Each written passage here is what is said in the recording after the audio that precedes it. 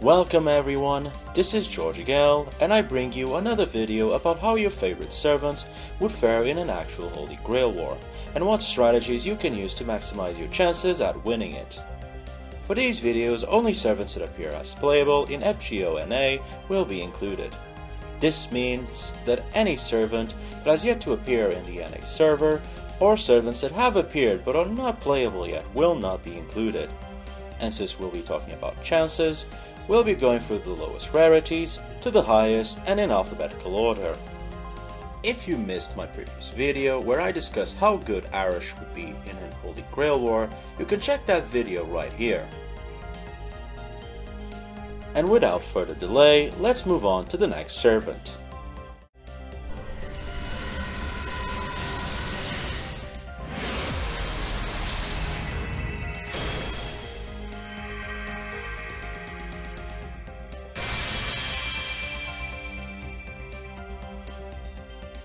We all love this big boy of debuffs, Asterios, or more commonly known, Minotaur. Asterios in-game is normally a good option for free-to-play players who want to build debuff teams that reduce enemies' damage so much that they might as well be attacking with wet noodles because that's how little damage they are going to be doing after Asterios has used his Noble Phantom a good amount of times. But would he be as good in a real Holy Grail War? The answer may surprise you. There's actually a lot to talk about Asterios, however it's important to get the skills and stats out of the way first as they do reveal a lot about how a specific servant is best used. Since he is a berserker, he has this skill Mad Enhancement, which increases all his parameters while taking away his sanity. In practice, this means that it's expected as a berserker for Asterios to have high stats. As for his sanity, we'll leave that for later.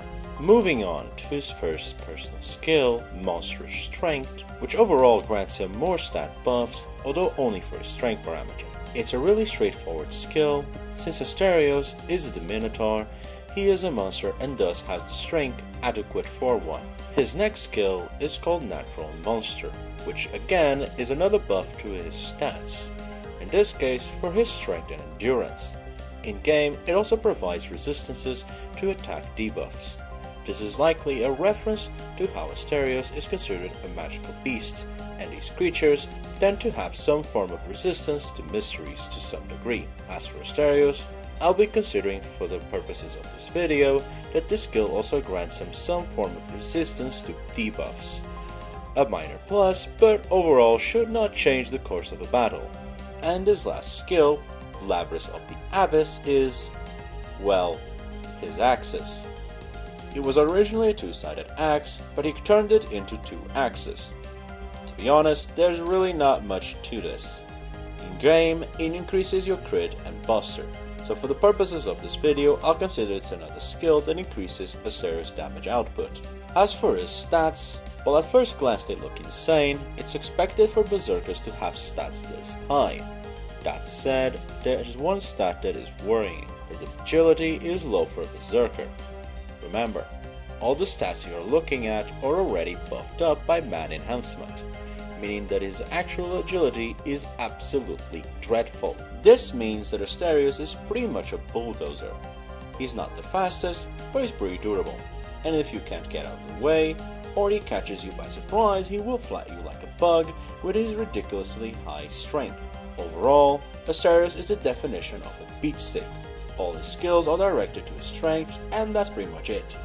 However, his Noble Phantom is much more interesting. Asterios can summon the Labyrinth where he lived pretty much for his entire life, and not just that, what he actually summons is the concept of Labyrinth itself, meaning that every time he uses his Noble Phantom, a new completely different labyrinth can appear, meaning that even if you manage to escape it, if he summons it again, there's a chance that it's a different labyrinth. This labyrinth will also only disappear when either Asterios dies or his opponents either escape or die, meaning that once he deploys it, most servants are forced to hunt down Asterios in the labyrinth to be able to leave it. Since it's also a reality marble, I'm going to assume that it works like Iskandars and Emiya's where they can move around the people pulled into the reality marble as it's manifesting. In other words, Asterios is a beatstick that can force his enemies into death battles where nobody from the outside can interfere. While that does sound promising, that only works if the enemy is weaker than Asterios. That said, he's not to be underestimated. While he can only do one thing, he can do that one thing pretty well, as he was able to hold off Medea, Robin Hood, and Hassan of the Cursed Hand by himself. And finally, we have probably the biggest factor, his sanity. While Asterios is insane, you can actually establish communication with him, and overall, if you're not a prick or an idiot, Asterios will probably be one of the chillest berserkers that you can summon. That said, his intelligence is comparable to that of a child's, although he's also wise, meaning that while he's not smart, he does have experience in life and can pull off many things that even adults can find difficult to do. So, with that said, if you were in a Holy Grail War and you summon Asterios, would you be well off or dead on arrival? Well, it's complicated. He's not the best, but he's also not the worst. The problem with Asterios is that he is too simple, meaning that you have one plan, and if it works, awesome, if it doesn't, well, you're dead. He's a bit beatstick, he beats people up, and if the people can withstand his attacks or outright avoid him, then he's pretty much toast. By far, his greatest weakness is his lack of skill. Asterios is like a raging bull who's swinging his axes around. If he hits, that's pretty much a kill on most servants. But the problem is hitting and also not dying in the process. That said, his Noble Phantom does open up some possibilities. Asterios can trap servants who might be difficult to deal with and then try to catch them by surprise inside the labyrinth. Just be aware that once he uses his Noble Phantom, it isn't going to go away until either Asterios or his enemies die. So, if you have Asterios, what can you do to improve your odds at winning the Holy Grail War? Well, the first thing you'll need to do is treat Asterios as another person. Do not treat him like a tool. Asterios is one of the calmest berserkers that you can summon. If you treat him well, he'll behave much like an oversized kid who's experiencing the world for the first time.